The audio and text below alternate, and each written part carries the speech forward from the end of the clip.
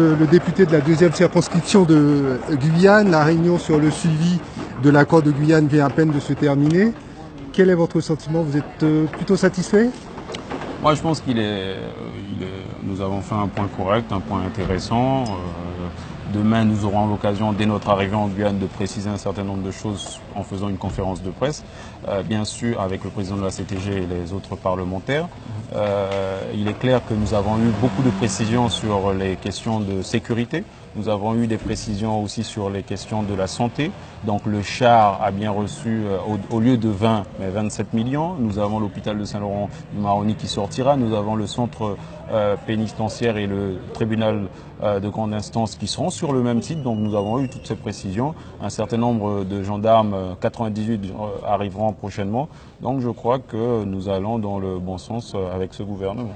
Radio Mayuri Campus s'adresse aux jeunes Guyanais, aux étudiants. Euh, alors, quelles sont les mesures qui les concernent directement alors, On sait qu'il y a un certain nombre de mesures qui vont dans le champ de l'éducation. Pour l'université, par exemple, qu'est-ce qu'il faut retenir Pour l'université, ce que je retiens, c'est que les, le personnel hospitalier euh, euh,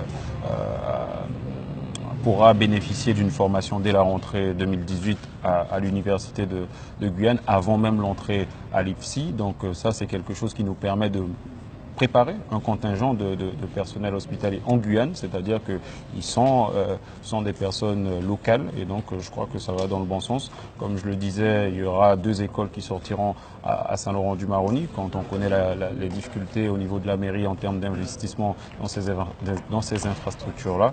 Je crois que les choses vont dans le bon sens, mais euh, nous serons au rendez-vous pour refaire un point avec la ministre très prochainement. Dernière question, monsieur le député. On observe que euh, les protagonistes de ce mouvement social euh, d'il y a un an euh, n'était pas présent à cette réunion euh, de suivi de l'accord de Guyane.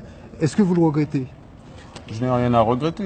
La ministre invite les, élus à une réunion, donc il est tout à fait normal que les élus viennent à cette réunion. Bien sûr aussi, comme on a pu diffuser un certain nombre de vidéos, que ce soit Michael Mancé, que ce soit les, les, grands frères, ils ont fait un point pour dire que nous avons rendez-vous le 21, donc nous apporterons les réponses. C'est notre rôle en même temps de pouvoir leur apporter tous les éléments à notre disposition. C'est ce que nous ferons euh, dès, samedi, mais aussi, je le dis encore une fois, nous aurons dès notre arrivée en Guyane une conférence de presse avec le président de la CTG et les autres parlementaires. Merci.